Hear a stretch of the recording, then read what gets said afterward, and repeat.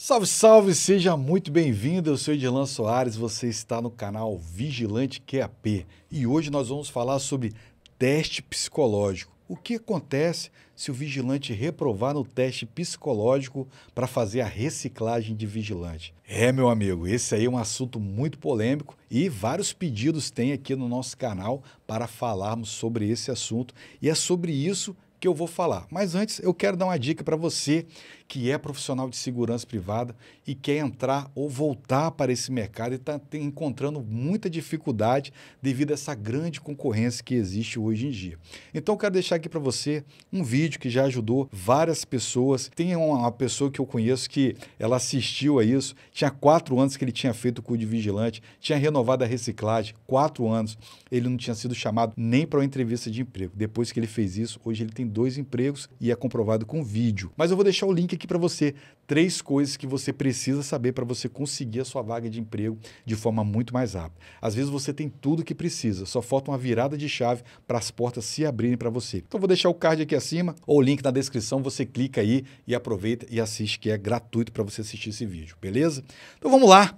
O que acontece com o vigilante quando ele reprova ali no teste psicológico? Em primeiro lugar, é importante nós destacarmos aqui que o teste psicológico é uma etapa importante indispensável no processo de renovação do curso de vigilante, o que chamamos ali de reciclagem do curso de vigilante. A avaliação psicológica é requisito básico para o exercício da atividade profissional de vigilante e é regulamentada pela Polícia Federal, instituição responsável pelo registro, controle de porte de arma e fiscalização do do Serviço de Segurança Privada. Apenas psicólogos credenciados pela Polícia Federal podem fazer esse tipo de análise periódica. De acordo com a SECOM, essa frequência é ideal para identificar se o vigilante tem controle sobre impulsos, emoções e agressividade. Se o profissional tem atitudes impulsivas, corre-se o risco dele apresentar uma reação inadequada diante de situações inusitadas. Além disso, o estresse é um problema comum e precisa ser avaliado. A rotina de trabalho dos vigilantes ela é estressante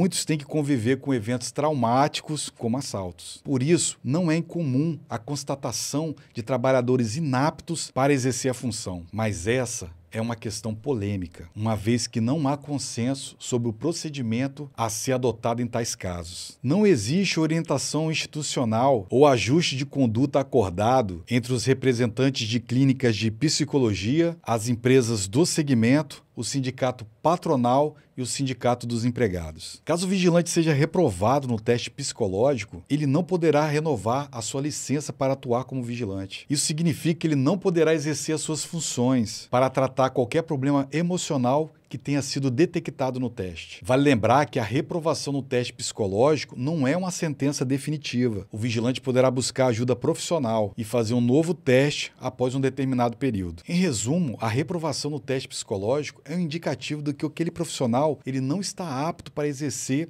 o trabalho de vigilante na segurança privada trabalhando armado. É fundamental que os profissionais de segurança privada estejam em plena capacidade física e emocional para garantir a segurança de todos. Em caso de reprovação no teste, este deve ser comparado aos testes anteriores para averiguar alterações nos padrões de resposta. Uma nova entrevista deve ser marcada para confrontar ou comprovar os dados obtidos. E, se caso necessário, aplica-se outros testes e contraprova em outra clínica. Mas a atitude a ser tomada não é fácil. A empresa poderia trocar de turno, dar férias, mas comenta aí, você acha que isso ia melhorar ou piorar a situação desse profissional? Saber que está de férias porque não passou no teste psicológico. Sem passar no teste psicológico, ele não pode fazer a reciclagem. E sem fazer a reciclagem, ele não pode trabalhar como vigilante. E a decisão do certo e do errado, do que deve ou não ser feito, muitas vezes é buscado na justiça. Não é uma situação muito fácil, porque se o profissional ele está trabalhando e ele vai ter que fazer a reciclagem, significa que ele prestou o serviço ali para a empresa de segurança privada e em um certo momento ele passou na, no psicotécnico ali, no teste psicológico, né? E conseguiu entrar para o trabalho. E agora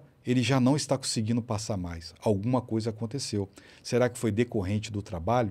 Então não é uma decisão fácil. E aí, qual é a sua opinião?